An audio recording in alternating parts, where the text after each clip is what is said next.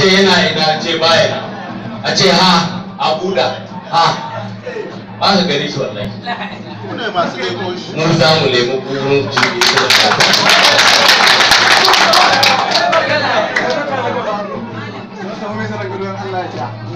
a wannan zaɓen ya kamata ba wata magana kankiya daura mani. Dukkan mu yan daura ne Allah ya haɗa mu ɗaya. Addini mu mu ɗaya al'ada mu ɗaya komai nan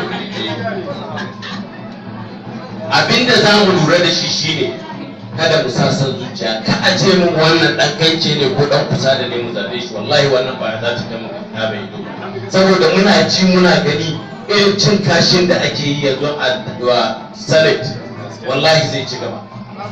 Wallahi zai ci gaba. A zabi kawai a zabi shi yasa addu'a ta shine ubangiji ya ba duk wanda zai taimaka